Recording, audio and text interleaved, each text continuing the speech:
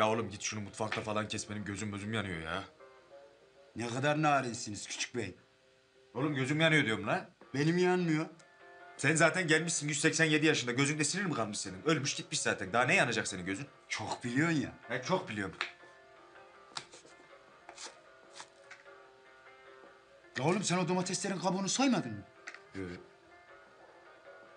Hayatında hiç menemen yaptın mı oğlum sen?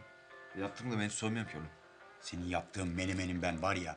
La oğlum onları tavaya attı mıydı kabuğu ayrılacak ağzımıza kayış gibi gelecek ya. Allah Allah. Los Angeles'ta büyüdün. Amına kodumu kurmesi ya. Ağzına kayış gibi. La bırak. La kalk git la. Kalk git. Kalk git Sıbar ben yaparım gerisini ya. Kardeş ben senin yaptığın menemeni yiyemiyorum. Anladın mı? Benim burada kalıp müdahale etmem lazım. Niyemiş lan mis gibi yapıyorum işte. Sen cıvık yapıyorsun oğlum. Ben öyle sevmiyorum. Vıcık vıcık o ne öyle ya? Börek mi lan bu? Ekmeğimizi banacağız amına koyayım ya. Ya arkadaşım ben senin yaptığın menemeni yiyemiyorum diyorum lan. Yiyemiyorum lan. Benim burada kalıp müdahale etmem lazım ya. Allah Allah bir sus. Ara lan şu Harun'u. Ara ekmek bulmuş mu bir sor bakayım. Ya oğlum sen ne sıkıntılı tipsin. Bulmuştur rahat ol sakin ya.